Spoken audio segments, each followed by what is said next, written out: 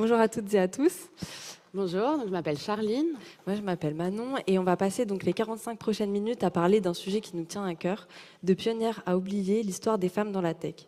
Donc en gros, l'idée derrière, euh, derrière ce thème, c'est de, de revenir un peu sur les moments importants de l'histoire qui font qu'aujourd'hui, les femmes sont minoritaires dans la tech.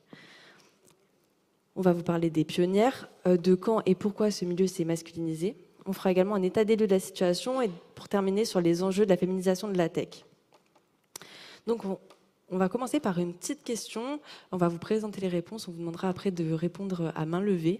Et cette question, elle concerne un nombre. C'est le nombre 65. Donc, est-ce que 65, ça concerne réponse A, le nombre d'étudiantes pour la promotion 2022 de l'école 42 Est-ce que 65, ça, concerne. Donc, c'est la réponse B, c'est le nombre euh, d'années estimées par l'EIGE, donc l'Institut européen pour l'égalité entre les hommes et les femmes, pour atteindre 30% de femmes en poste dans la tech? Est-ce que 65, c'est réponse C, le pourcentage d'étudiantes en informatique à la faculté donc euh, d'informatique et technologie de l'information de Kuala Lumpur en 2000 Ou est-ce que 65, c'est la réponse D, le pourcentage de femmes dans les équipes tech de Slack? Donc, à main levée, qui pense que c'est la réponse A? Ok, quatre personnes. On a réussi à les compter. qui pense que c'est la réponse euh, B? Ok. Ok. Qui pense que c'est la réponse C? Un, peu, moins. plus, ok, un peu plus que 4, mais ouais. Et qui pense que c'est la réponse D? Ok. Enchanté. euh, donc la réponse c'était euh, le pourcentage d'étudiantes en informatique, du coup, euh, à la fac à Kuala Lumpur en 2000. Pourquoi est-ce qu'on a voulu commencer par cette question? Parce qu'on voulait tout de suite euh, écarter une théorie qui dit qu'il y a des prédispositions génétiques pour coder. En gros, le cas de Kuala Lumpur, il n'est pas unique. Donc à Kuala Lumpur, il y a plus de femmes en informatique euh, que ce qu'on peut voir par exemple en France. Il n'est pas unique, c'est également le cas par exemple dans les Émirats arabes unis ou encore euh, dans le sultanat d'Oman. Et en fait, ça nous prouve bien que, que, c'est quelque chose qui est, culturel et ou contextuel.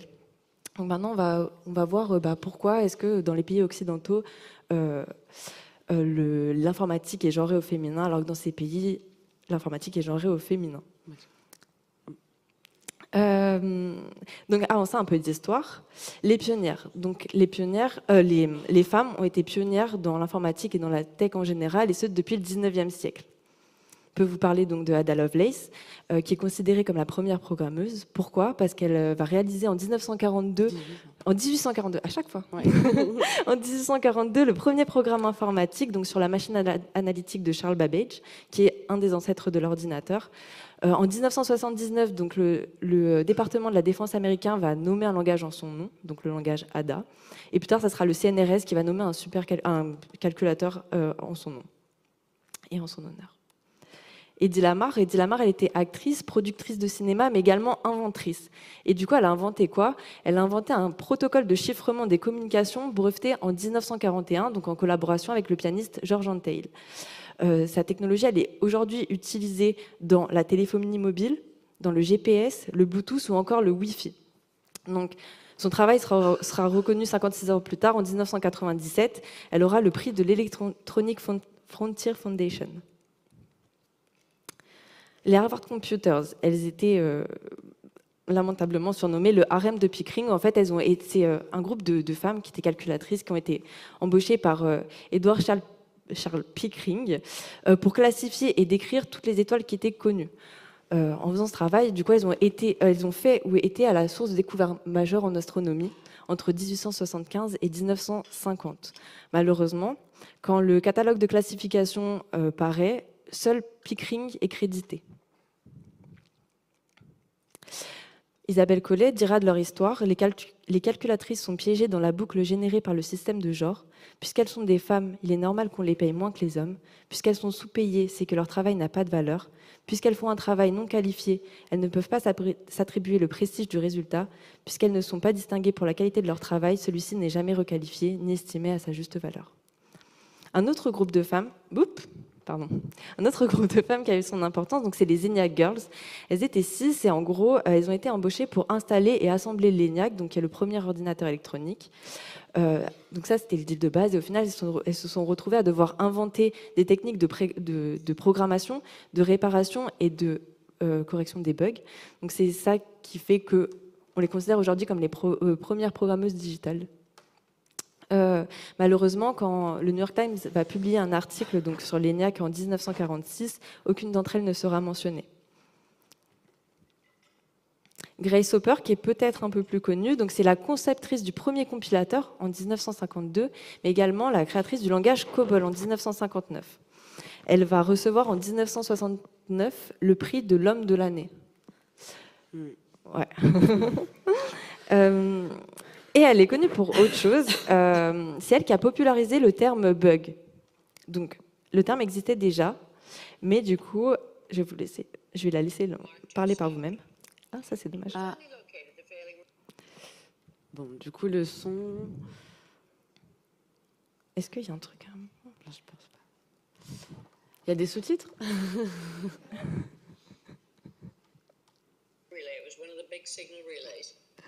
And inside the relay, beaten to death by the relay contacts, was a moth about this big.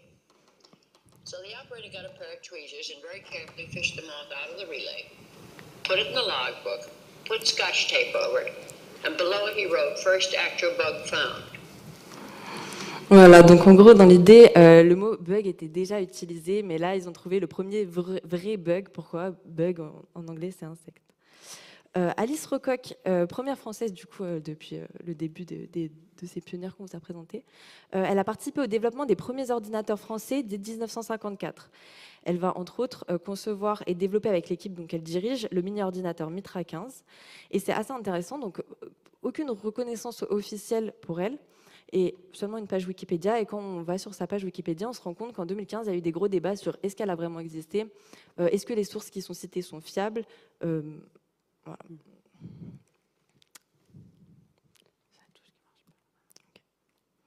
Valérie Thomas, qui a inventé en 1980 le transmetteur d'illusion. Transmetteur d'illusion, il permet, il permet aux satellites de transmettre des images 3D depuis l'espace. Et du coup, ça a été inventé en 1980, mais dans le futur, son invention pourrait être utilisée dans la chirurgie, la, la télévision ou encore les jeux vidéo. Donc en gros, il y a énormément de femmes qui ont été pionnières de la tech. Ça n'a pas été compliqué de les trouver. On a même dû faire un choix. On aurait pu aussi vous parler de Joanne Clark, qui a travaillé avec Alan Turing sur euh, le décryptage euh, des codes de la machine d'Enigma dès 1940, de Annie Isley, qui est la première informaticienne à travailler à la NASA dès 1955, de Gladys West, Gladys euh, West qui a contribué au développement du GPS, de Margaret Hamilton, qui a dirigé l'équipe de développement du logiciel embarqué qui a permis le succès de la mission Apollo 11 ou encore d'Elisabeth Jocelyn Jack Finler, dont l'équipe sera à l'origine des protocoles WIS et DNS, de Marion Créange, qui n'est pas seulement la première femme, mais également la première personne en France à obtenir un doctorat en informatique en 1975, de Charlie Ann Jackson, qui a été embauchée en tant que chercheuse pour l'entreprise euh, AT&T Bell, et dont les recherches ont servi de socle à des inventions comme le câble en fibre optique, les systèmes d'affichage des noms sur les téléphones, ou encore euh, le système de l'appel en attente. On va terminer avec euh, Marianne Roger Crook, qui est aujourd'hui vice-présidente de l'ingénierie chez Google et qui détient plus de 200 brevets donc à son actif, dont un euh, pour la technologie VOIP. Quand on voit un petit peu l'histoire de ces pionnières, euh, on comprend donc les mots de Gloria Steinem. Les femmes ont toujours été une part égale du passé. Nous avons tout simplement, nous n'avons tout simplement pas fait partie de l'histoire. Et donc, pour comprendre notre histoire, on va revenir sur des euh, décennies, des moments clés, euh, ce qui s'est passé aux États-Unis, pour voir pourquoi aujourd'hui nous sommes en minorité. Hmm. Tout d'abord, dans les années, du coup, des années 50 aux années 60, il faut savoir que 30 à 50% des personnes travaillant dans l'informatique étaient des femmes, et donc ça, comment on l'explique? Tout simplement parce que le hardware est euh, supérieur au software. Donc le hardware, c'est euh, ceux qui construisent les machines, construire l'ordinateur, donc là toute la partie plutôt électronique. Le software, lui, c'est euh, donc tout ce qui concerne le logiciel, la programmation. Et la programmation, c'est plutôt assimilé à du secrétariat en fait. donc ce petit travail de secrétariat qui a peu d'importance, peu de valeur, est naturellement laissé aux femmes. Ensuite euh, viennent les années 60, donc fin des années 68. Le logiciel va devenir lucratif, va être nécessaire et on va avoir besoin comme ça d'avoir plus de programmateurs et de programmatrices, mais on va avoir une crise de la main-d'œuvre. On a du mal à recruter, le secteur n'est pas forcément attractif et on n'a pas nécessairement des personnes qualifiées également. Et donc là, on va avoir différentes campagnes, on va dire, de communication dans les presses donc tout d'abord dans la presse féminine avec le magazine Cosmopolitan. Donc là, on est en 1967. L'article nous dresse le portrait de Anne Richardson qui travaille du coup chez IBM et elle va euh, faire la promotion un peu de son métier, euh, de casser euh, les préjugés parce qu'il y en avait évidemment déjà à l'époque donc j'ai eu cette idée que je serais debout devant une grosse machine et que j'appuierais sur des boutons toute la journée. Je n'aurais pas pu être plus à côté de la plaque d'ailleurs. Et du coup, donc elle va casser les préjugés. Et on va aussi avoir un verbatim de Dr. Grace Hopper, donc on a vu juste avant, et elle qui va dire en fait la programmation c'est comme organiser un dîner. Et ça, on le sait, organiser un dîner c'est très féminin. De l'autre côté, on va aussi avoir des campagnes pour recruter des hommes. Et là, on va, pareil, être tout aussi incisif. On va dire, êtes-vous l'homme? On recherche 500 000 hommes, etc. On va préciser à ce moment-là le genre. Et juste pour vous montrer à quel point ils sont en, pénurie de talent, on va dire. Donc là, on leur, euh, pour les qualifications, on demande, mais est-ce que vous aimez bien l'algèbre, la géométrie, en fait, tout ce qui a un rapport aux mathématiques. Et aussi toutes les personnes qui font de la musique ou un peu un lien avec la musique. Euh, parce que ça, du coup, on va faire un lien avec ces compétences-là et l'informatique. Et ensuite vient la récession du début des années 70. Donc là, les États-Unis ont une période bah, de creux et donc on va avoir une augmentation du taux de chômage à ce moment-là. Donc là, vous avez la courbe, donc 70, c'est la deuxième barre grise. Et donc les premières personnes qui vont être renvoyées à la maison, comme souvent dans ces cas-là, ce sont les femmes. Donc là, on va perdre une main-d'œuvre féminine. Et ensuite, moment important, c'est l'arrivée de l'ordinateur dans les foyers, donc l'ordinateur individuel, où là, l'ordinateur, il est plutôt utilisé pour faire des jeux, du divertissement en tout cas. Et le divertissement, c'est plutôt un truc euh, de garçon en fait. Et donc la plupart des campagnes de publicité vont euh, mettre en avant majoritairement, pardon, les, euh, les, les papas, excusez-moi, avec leur fils devant un ordinateur. Et on va associer comme ça l'image de un ordinateur, un papa et ses enfants. Et donc, à partir de là, comment va évoluer euh, l'image du programmeur? On va passer en fait de stéréotype en stéréotype au fil des décennies. Le premier stéréotype qu'on va avoir, c'est le stéréotype du nerd, donc euh, la personne associable, pas très attractive, qui dans son coin travaille euh, jour et nuit sur une technologie dont il est fanatique. Donc ça existe déjà dans les années 60. On a ce petit cartoon d'une BD Datamation euh, qui est euh, paru donc en 1963. Et donc là, on a un mot euh, du chef à son programmeur qui dit Nous attendons des visiteurs aujourd'hui, alors rasez-vous, peignez-vous les cheveux, lavez-vous, cirez-vous les chaussures et restez hors de vue. Voilà ce qu'on disait déjà à l'époque. Ce stéréotype du nerd va changer, va évoluer. On va passer là sur un stéréotype du geek. Alors le geek, c'est, euh, ça reste un nerd parce, enfin, dans l'idée du nerd où il est passionné d'une ou deux technologies, il va se mettre à fond là-dedans. Mais le geek, il va être un peu plus sociable dans l'idée, il va pouvoir avoir un cercle, faire preuve d'empathie, il va même euh, et surtout être entrepreneur. On a euh, ce côté-là qui arrive derrière. Et donc, un des geeks les plus connus, c'est évidemment Mark Zuckerberg avec euh, l'arrivée de Facebook. Et donc, quand on voit sur euh, les séries aussi, on va avoir ce personnage de Troy dans la série Community, où là, on a euh, un geek, mais qui, c'est pas la personne qui est juste dans son coin, elle a un cercle d'amis, elle fait preuve bah, d'empathie avec ses amis quand ils ont besoin d'aide, etc. Donc, sur quelqu'un de plus sociable. Donc, on a le nerd, le geek, en réponse à ça, parce que là, la programmation, ça reste un truc pas très cool, en fait, ça reste un peu quelque chose de niche. On va avoir le stéréotype du programmeur. Alors ça, faut... du coup, c'est un peu moins connu, on va dire, dans la culture euh, française, parce que programmeur, c'est un mot valise qui vient du coup bah, du mot programmeur, euh, ça on l'a, et de la culture des bros. Donc la culture des bros, c'est la culture des frères, ça vient ça de la fraternité. Et donc en fait, le programmeur, alors euh, c'est un peu, c'est utilisé évidemment de, de façon péjorative, mais le programmeur, c'est lui c'est le gars qui fait euh, son code en faisant des pompes, euh, celui qui euh, boit de la bière toute la journée, qui va dans les clubs et qui a plein de nanas autour de lui. Donc en fait, c'est l'évolution ultime du geek, c'est le gars qui fait du code et qui est, qui est l'homme pardon, alpha. On est vraiment là-dessus. Donc le geek, il est drôle aujourd'hui, on, s'en moque un peu, hein, c'est clairement devenu un mème ou un beauf ou peu importe, mais malheureusement, cette culture du bro, elle a existé et il y a un exemple très parlant, c'est l'application Titster qui a été du coup présentée lors d'un hackathon. Donc il y avait une conférence qui était la TechCrunch Disrupt, donc en 2013, et donc, euh, il y avait des hackathons, un peu comme dans toutes les conférences. Ils présentent le projet. Et Titster, en fait, donc c'est le projet de deux hommes, évidemment, qui nous explique que bah, l'espérance de vie des hommes réduit de jour en jour et qu'il faut faire quelque chose. Et une découverte scientifique dirait que si les hommes regardent des poitrines, alors leur espérance de vie augmente. Donc évidemment, c'est une blague de très mauvais goût, mais ils vont la pitcher avec un ton humoristique scientifique, on est d'accord, ils s'en sont jamais cachés. Mais ce qui fait que bah, devant une audience déjà très masculine, de mettre en avant des images de femmes comme ça, ça euh, nous décrédibilise encore plus.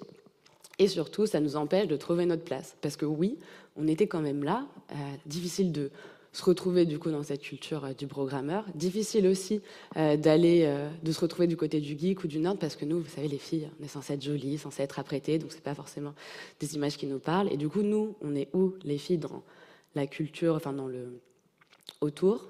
Et eh ben, on est tout simplement celles qui se marient avec les geeks ou avec les nerds. Et on a euh, ce petit commentaire qui avait été euh, posté par une grand-mère sur un post annuel de Mark Zuckerberg où elle dit euh, Je fais que dire à ma petite fille de sortir avec des nerds comme vous à l'école parce que peut-être un jour il deviendra le prochain, le futur Mark Zuckerberg. Et il lui répondra Encore mieux, il faudrait l'encourager à être la prochaine nerd. Parce que ça, on n'y pense pas, mais c'est vrai qu'on n'a jamais incité les filles à aller de ce côté-là. Parce que les filles, quand on code, comment on est représenté dans les films, des premières codeuses ouais, c'était Lisbeth Salander. Lisbeth Salander, du coup, elle vient, donc c'est un livre à la base, c'est Millennium, elle sera reprise à la télé, mais du coup, c'est vraiment ce stéréotype de la hackeuse gothique qui vit dans une cave, toujours habillée de noir, euh, piercing de partout, tatouée. Donc, évidemment, c'est pas quelque chose qui va nous plaire, on va se sentir attiré par ça. Mais il y en aura d'autres aussi, des filles qui feront de l'informatique. Alors, en fait, on fait pas vraiment que de l'informatique. On fait de la science et de l'informatique. Du coup, de la euh, la police scientifique, parce que ça, on l'a beaucoup. Donc, Abby de NCIS, qui reste un stéréotype de gothique, mais on aura aussi Angela, par exemple, de la série Bones. Et donc, nous, à chaque fois, on a cette double casquette. On est euh, un côté geek parce qu'on travaille euh, avec des ordinateurs, et en plus, on fait de la science. Il n'empêche qu'il y aura un véritable effet Les Experts, donc qui vient de la série, où l'association euh, Girls Who Code euh, a, notifié que dans les candidatures qu'elle recevait, l'aspiration professionnelle la plus citée était les sciences forensiques. Et donc les sciences, forensiques, c'est tout ce qui est relatif à une méthode scientifique utilisée pour éclairer les circonstances d'une affaire judiciaire, donc la police scientifique. En fait, ces femmes qu'on a mis dans les séries qui étaient en police scientifique ont donné des aspirations pour devenir des développeuses. Alors c'est littéralement pas leur métier, mais en tout cas ont donné un attrait, un côté un peu cool à la programmation. Donc c'est comme ça qu'on a des premières candidatures de femmes. Et donc, les femmes dans la tech, pourquoi on n'en parle que maintenant? Est-ce qu'on en parle juste parce que c'est une ère euh, post-MeToo pardon? En fait, c'est faux. On en parlait déjà au début des années 2000. On a une étude qui va être menée et financée par l'Europe, qui va s'appeler Élargir le travail des femmes dans l'information, l'information et technologie de communication, donc TIC. Et donc là, ils vont faire travailler sept pays européens donc chacun de ces pays va proposer des bonnes pratiques, donc des actions à mettre en place au niveau local ou au niveau national d'ailleurs. Euh, donc il y en aura 59 en tout qui vont être, qui vont être euh, diffusées. Donc ils vont euh, avoir une étude d'impact en fait, qui vont mettre en place pour voir lequel a eu plus, plus ou moins d'impact, quel était le contexte pour pouvoir les diffuser après au sein de l'Europe. Donc nous, la France, nous serons représentés par l'ANAC, l'Agence nationale pour l'amélioration des conditions de travail. Et donc les deux projets, on va porter quatre projets pardon, en tout. Il y en aura deux qui seront dédiés vraiment à la tech. Tout d'abord le projet CEFIA qui va, mettre, enfin, qui va former des femmes au métier de la maintenance euh, du numérique et vont les mettre en poste dans des entreprises partenaires. Et ensuite, on aura un programme de tutorat à l'Université de Reims qui euh, durera un an pour les nouvelles bachelières techniques ou scientifiques pour leur fournir un accompagnement, des rôles modèles, du mentorat. Et donc, les conclusions euh, de cette étude, on va donner euh, six axes euh, de recommandations d'actions qui ont eu de l'impact. Donc, tout d'abord, travailler sur les réseaux féminins, de mettre en place des nouveaux outils dans le recrutement, dans le mentorat au sein de l'entreprise, de concilier évidemment la vie de travail et la vie de famille, de continuer l'entraînement, donc l'amélioration de compétences, de, gérer la réorientation des carrières, parce qu'on a des femmes aussi qui vont se réorienter ensuite, et avoir une meilleure compréhension des métiers euh, d'éthique. Et donc, on a également mis en parallèle les conclusions d'Isabelle Collet, qui travaille sur le sujet, et qui, elle, nous dit Féminiser la tech, attention, l'enjeu est énorme, il ne faut pas innover pour innover. Ce n'est pas un secteur qui a besoin de dynamisme. En fait, on a un problème social, il ne faut pas juste mettre une innovation parce qu'on pense que c'est une bonne idée. Il faut vraiment le penser, laisser des moyens, laisser du temps aux actions pour qu'elles se mettent en place et qu'elles puissent se pérenniser, pour avoir le temps de mesurer leur impact. Et ensuite, que le problème est plus complexe. C'est un problème qui est culturel, sociologique et psychologique. Il ne suffit pas de mettre du rose pour rendre la tech attractive aux filles. Et donc ça, l'Europe va euh, rapidement le comprendre parce qu'ils vont lancer une campagne de communication en 2012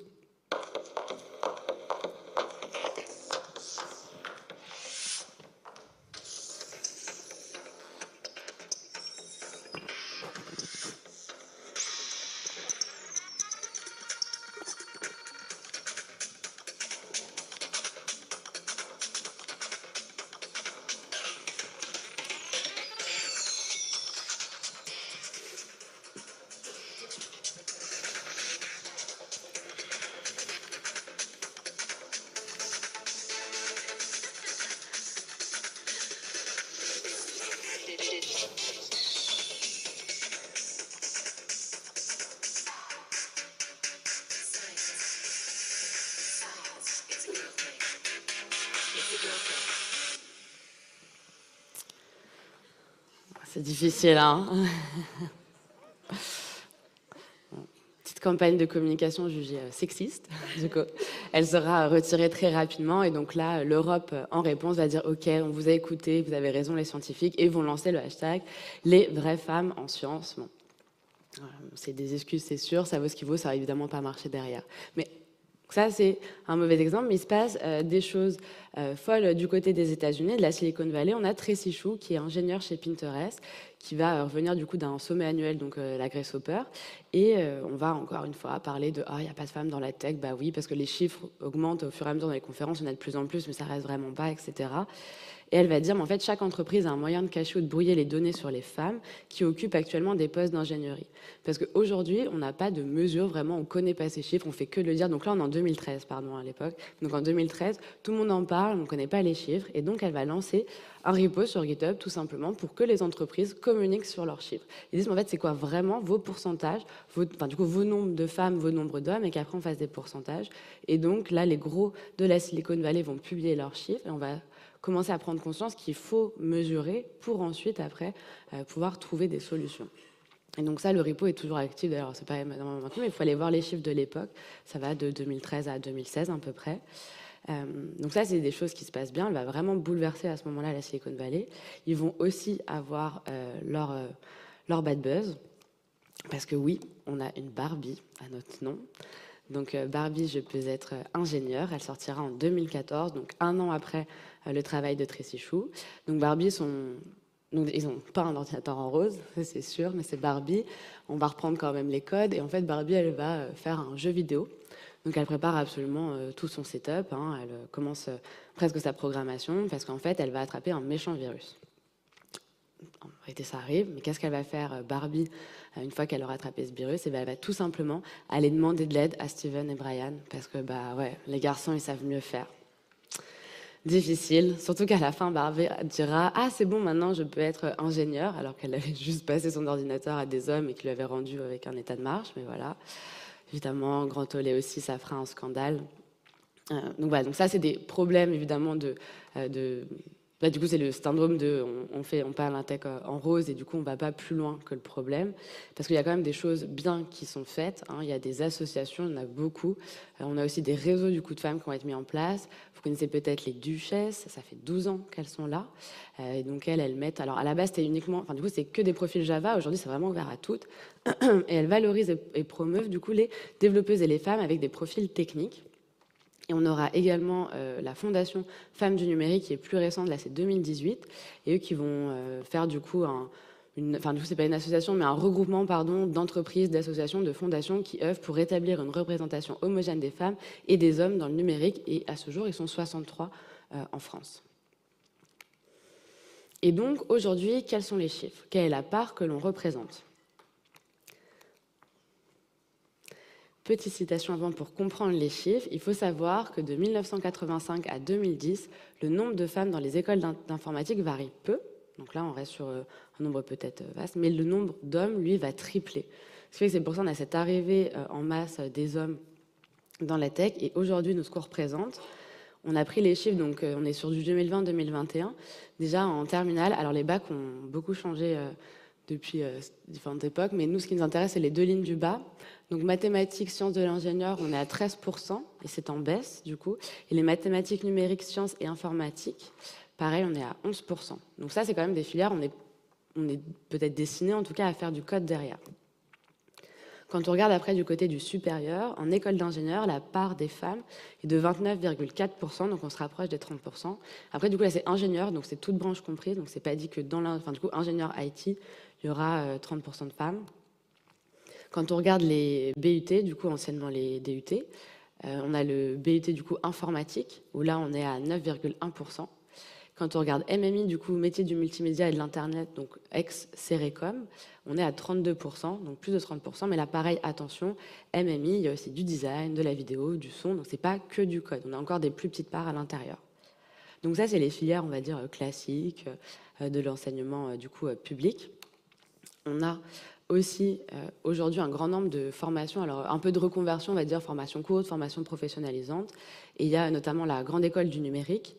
Eux, dans leur stade de 2021, c'est euh, presque 14 000 apprenants formés et 26% de femmes on a un quart de femmes. On n'a pas les statistiques pour les écoles privées, parce qu'il y en a aussi tout ce qui est formation en ligne, euh, formation euh, bah, du coup MOOC, etc. Euh, et juste pour info, s'il y en a qui sont intéressés par les chiffres, aujourd'hui, la Grande École du Numérique va publier du coup son gène scan, et donc normalement, elle a fait un travail de recherche conséquent sur, sur plusieurs mois, et va publier les chiffres de l'année sur tout le secteur de l'éducation, privé compris. Du coup, ce n'était pas arrivé en temps et en heure, mais voilà, je vous invite à regarder. Donc ça, c'est pour les chiffres de l'éducation. Euh, concernant les postes dans le numérique. Donc là, on est reparti des chiffres qui sont donnés euh, par euh, Femmes Numériques, du coup la fondation d'avant de 2018. Donc dans les postes dans le numérique, on représente à l'époque 27%. Ça n'a pas énormément évolué depuis, même si on gagne peut-être quelques pourcentages. Ça, c'est dans le numérique. Par contre, dans ces postes du numérique, quand on regarde les fonctions techniques, donc tout ce qui va toucher au développement, donc à la production, programmation, la gestion de projets tech, là, on va représenter plus que 15%. Ce qui fait que dans tous les postes du numérique, si on, ne parle que des fonctions techniques, euh, on va représenter 5% de ces postes-là. Et donc pareil, si on continue de creuser, quand on regarde la part de codeuses, donc développeuses, on est à 27%, c'est la partie la plus attractive, on va dire, de la tech pour les filles, parce qu'il y a aussi toute la partie intégration, où là c'est plutôt jugé comme féminine, donc le fond de tout ça. Je pense que si on creuse un peu bac, etc., ça, ça, semble des statistiques différentes aussi. Et donc, quand on va en cybersécurité, là, on n'est plus que 11%. Et évidemment, quand on parle de direction, on passe en dessous des 10% et on est à 9%. Et donc, pour comprendre, euh, on est venu euh, vous montrer d'autres stéréotypes, ceux qui nous censurent. Et tout d'abord, quand on parle des mathématiques et quand on parle de femmes. Euh, alors là, je suis un peu embêtée. Du coup, c'est une petite vidéo. de l'université de Provence. Vous entendez pas bien du tout, hein ah ouais? Ok. On fait passer un test à des écoliers et des écolières. Alors ils leur ont montré une figure géométrique assez compliquée en leur expliquant qu'ils allaient devoir la reproduire de mémoire à main levée. Lorsque l'on dit aux enfants qu'il s'agit euh, d'un exercice de géométrie, les filles réussissent moins bien que les garçons. Mais lorsque l'on présente l'exercice comme une épreuve de dessin, eh les filles obtiennent des résultats meilleurs que les garçons, alors que le test est rigoureusement le même dans les deux cas. Autrement dit, la seule évocation de la géométrie, référence directe aux mathématiques, constitue un obstacle pour les filles. Tout se passe comme si euh, très tôt les filles intégraient cette idée reçue selon laquelle elles seraient moins bonnes en mathématiques au point qu'elles perdent leurs moyens devant euh, une épreuve de mathématiques. D'autres études de ce type aboutissent à des conclusions similaires. Donc ça, on le comprend, on a directement ce frein, nous, en tant que femmes, que déjà, on ne sera pas bonne en mathématiques, et qui dit code, dit tech, la première chose qu'on imagine, c'est qu'on fait des mathématiques, alors que qu'on se dise, on fait peu de mathématiques au début quand on fait du code. Mais voilà, donc ça, c'est pour le premier frein. On va avoir aussi un, un autre stéréotype, c'est qu'en fait, on n'existe pas, que c'est pas vrai. Il n'y a pas de femme dans la tech. En tout cas, elle ressemble pas à ce que, je pense. Et donc ça, c'est l'exemple de Easy Essentially, qui est ingénieur chez OneLogging. Et donc l'entreprise va décider de mettre en place une campagne de communication pour mettre en avant euh, son équipe d'ingénieurs. Et euh, elle va être placardée avec ses collègues. D'ailleurs, c'est juste que c'est des campagnes individuelles. Et donc là, va y avoir euh, les réseaux sociaux qui vont prendre notre défense à nous, les femmes dans la tech, en disant non mais en vrai, abuser d'avoir pris un mannequin pour la campagne de communication, ils auraient pu au moins prendre une vraie développeuse. On veut aider les personnes dans la tech, mais je suis pas sûre que ça sert la cause, etc. il s'avère qu'évidemment, Isis euh, est ingénieure dans l'entreprise et donc devrait faire un communiqué pour dire que bah, si, en fait, je suis pas un mannequin parce qu'on doit toujours se justifier.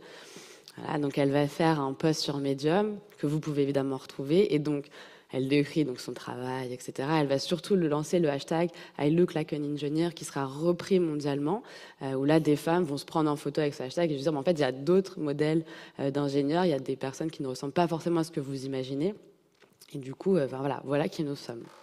Et donc ce stéréotype perdure parce qu'on a et ok on apprend que maintenant il y a des femmes, mais aussi genre on peut avoir des codeuses, mais pas, enfin, pas qu'elles soient trop belles, quoi. C'est pas possible. Du coup, c'est un peu trop belle pour coder. Et donc ça, c'est l'exemple de Lindsay Scott, qui est mannequin lingerie à euh, Victoria. Et euh, elle, elle est euh, développeuse, enfin, du coup programmatrice. Elle fait en plus du Python, du C++, de l'objectif C. Enfin, des stacks, on va dire, quand même assez masculines, peut-être dans l'idée, enfin, je sais pas, un peu plus difficile. Mais en tout cas, euh, ils vont, du coup, elle va avoir un post Insta euh, d'une, asso qui va la mettre en avant pour dire, en fait, voici un nouveau rôle modèle et en plus, hyper inspirant, quoi. Une mannequin pour les petites filles, les mannequins, c'est, c'est assez fou.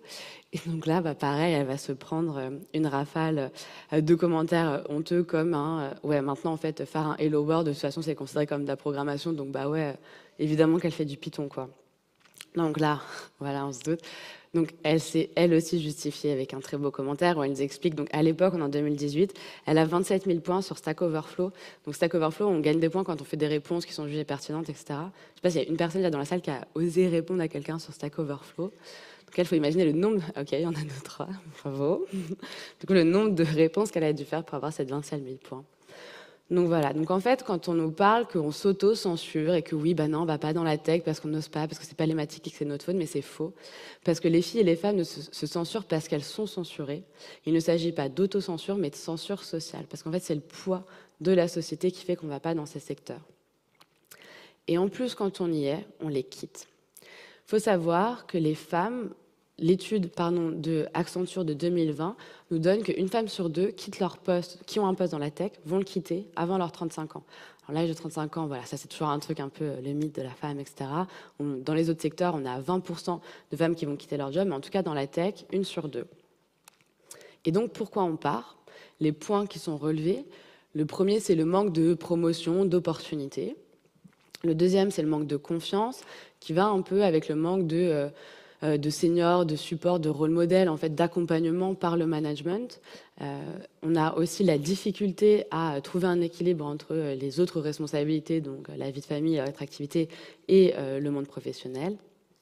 Et aussi et surtout les biais de genre et le sexisme. Et alors, ce n'est pas fait exprès. Mais j'allais finir cette partie en vous proposant d'aller voir du coup euh, le talk de Marcia Cacharolo qui en fait l'a fait à la keynote d'ouverture qui en parle, je trouve merveilleusement bien. Donc pour celles et ceux qui l'ont pas vu, vraiment allez le voir en replay. Du coup pas au Devox mais au BDXIO euh, d'aujourd'hui. Et c'est bon. Et du coup, féminiser la tech, pourquoi on en parle autant? Euh, donc il faut savoir que la tech, c'est l'un des secteurs les plus masculins avec l'armée, le BTP ou le transport routier. Pourtant, dans ces autres secteurs, on n'entend pas tout le temps, oui, il faut plus de femmes dans le transport routier, par exemple. La tech, déjà, c'est une importance économique. On parle d'une croissance de plus 7,4% euh, en 2022. Euh, il est créateur d'emplois depuis 12 ans, donc en 2021, plus 34 000 emplois qui ont été créés. Ça procure un bon salaire et une autonomie. Mais même si par exemple, les transports routiers rassembler ces quatre critères, on n'en parlerait peut-être pas autant. Pourquoi? Parce qu'il reste un cinquième critère important, c'est l'importance sociétale de la tech. En gros, la tech, elle est utilisée partout, euh, dans tous les secteurs, dans le public comme dans le privé. Euh, et le problème, c'est que le manque de diversité peut nuire à l'innovation. Un exemple qui est plutôt dont on est obligé de parler, c'est l'exemple des airbags. En gros, quand les airbags se sont répandus donc dans les voitures, on s'est rendu compte que euh, qu'ils étaient dangereux pour les femmes. Donc là, on a un exemple d'un enfin, l'extrait d'un article du Washington Post qui date de 1996 et qui dit les blessures causées par les airbags ont tué au moins 19 adultes, adultes toutes sauf trois étaient des femmes. Pourquoi? Parce qu'en gros, dans l'équipe de chercheurs qui a développé euh, et testé les airbags, aucune femme n'était présente. Maintenant, on va se dire, ok, mais avec des lignes de code, est-ce que je peux tuer quelqu'un? Deux minutes. Donc Joy Bolawin, Bolam, Bolamwini, pardon. Euh, elle, a créé, elle, a créé, un projet d'étude. En gros, dans l'idée, elle voulait, euh, elle voulait quelque chose qui l'inspire au réveil. Donc, elle a créé un miroir connecté qui lui projette euh, un masque sur le visage, un masque inspirant. Quand elle a développé son projet, elle s'est heurtée à un petit problème. The system I was using worked well on my lighter skinned friend's face, but when it came to detecting my face, it didn't do so well until I put on a white mask. En gros, elle a testé euh, donc différents systèmes de reconnaissance faciale et euh, ces systèmes ne, ne, la détectaient pas et elle devait mettre euh, un masque blanc sur le visage pour la détecter. La symbolique est terrifiante. Et donc là, encore une fois, donc on parle d'un projet d'étude, on parle d'un miroir connecté, on peut se dire pareil, ça va tuer personne. Sauf que le problème, c'est que ces technologies, elles ne sont pas utilisées que dans des projets d'études, elles sont utilisées dans, dans des, bah, typiquement dans l'intelligence artificielle des voitures autonomes.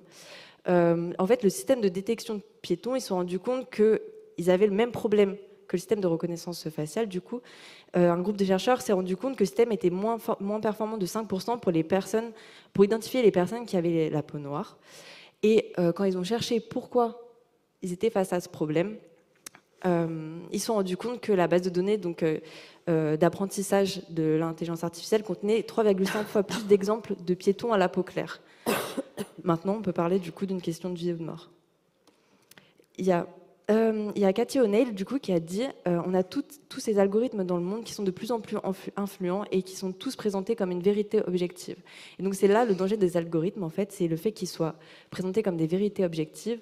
Mais les algorithmes ne sont pas objectifs et ils sont subjectifs. Et comment est-ce qu'on appelle la subjectivité dans un algorithme? On appelle ça un biais algorithmique. Donc pour définition, c'est une déviation par rapport par rapport à un résultat censé être neutre, loyal ou encore équitable. Donc des biais algorithmiques, il n'y en a pas un, il y en a plein. Donc là, c'est une liste non exhaustive. Euh, et celui, par exemple, qu'on a vu dans la détection des piétons, c'est apparenté au biais de représentation, donc un manque de diversité inhérent à une source de données. Euh, et énormément des technologies qui nous entourent sont, euh, bah, sont biaisées, justement. On peut parler par exemple de l'IA de recrutement d'Amazon. Donc, en 2014, euh, Amazon veut créer son IA. L'idée, c'est que l'IA analyse les CV et leur donne une note de 1 à 5 étoiles. Petit problème, en 2015, ils se rendent compte que cette intelligence artificielle n'aime pas trop les femmes. Donc, quand ils ont fait des recherches, ils se sont rendus compte que systématiquement, ils détectaient et déclassaient les CV qui, présentaient des mots, féminin, donc par exemple capitaine du club d'échecs féminin, ou encore qui mentionnait des universités réservées aux femmes. Donc, quand ils ont cherché un petit peu pourquoi, ils se sont rendus compte que la base de données d'apprentissage de l'intelligence artificielle euh, contenait des profils de personnes ayant travaillé chez Amazon entre 2004 et 2014, et ces personnes étaient principalement des hommes. Donc là, on peut parler de biais historique, un biais déjà présent dans le monde réel et donc dans les données. Donc en 2017, euh, Amazon, euh, Amazon va arrêter le projet faute de correctifs satisfaisants. Euh, autre entreprise, autre problème, Apple, qui en, 2019... Euh,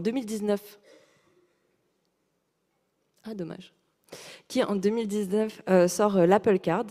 donc c'est une carte de crédit et ils sont accusés de discrimination sexiste. Donc la personne qui va être à la tête de, cette dénonciation, ça va être le fondateur de Ruby on Rails qui va tweeter, du coup vous n'avez pas accès, qui va tweeter qu'il obtient un plafond de crédit 20 fois supérieur à celui de sa femme, alors qu'ils ont les mêmes biens.